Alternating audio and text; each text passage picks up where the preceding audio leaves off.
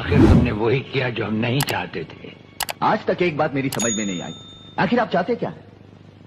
क्या आप ये चाहते हैं कि एक के बाद एक की मौत होती रहे और हम चुपचाप देखते रहे? पहले डॉक्टर गुप्ता की मौत हो गई फिर अली मारा गया। आज इस प्रलनाथ के पिल्ले ने मुझ पर गोली चलाई। ये देखिए अगर मैंने बुलेट प्रूफ जैकेट नहीं पहनी होती तो मरने वालों की लिस्ट में मेरा भी नाम जुट जाता। लेकिन इसने तुम पर गोली क्यों चलाई? क्योंकि मैंने इसे मजबूर किया था।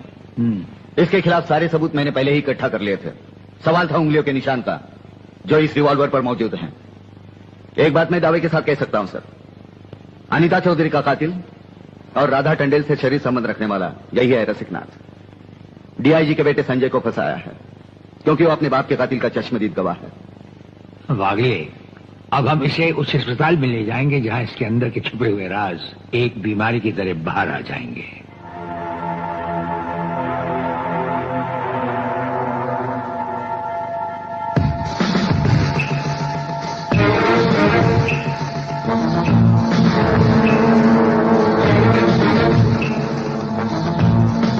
जो दुश्मन यहाँ बांधा गया, समझो उसकी अर्थी उठ गई। हमारा ये हथियार आग उगलता है।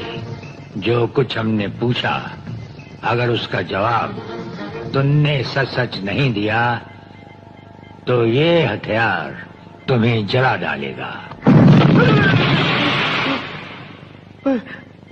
मगर मगर आप चाहते क्या है? प्रलयनाथ गिरणा स्वामी तुम्हारा बाप है। हाँ जी हाँ जी। और अब वही इस देश को खत्म करने की तैयारियाँ कर रहा है। हाँ जी हाँ जी बिल्कुल। हाँ, मुझे माफ़ कर दो मुझे जाने दो। हाँ, नहीं नहीं नहीं मैं बता रहा हूँ। मैं सब बताता हूँ। मैं, मैं, मैं, मेरे बाप का अगला प्लान क्या है? मुझे छोड़ दो। हाँ, मुझे मेरे बाप से कोई नज़र नहीं है। मैं तो उसको जानता भी नहीं हूँ।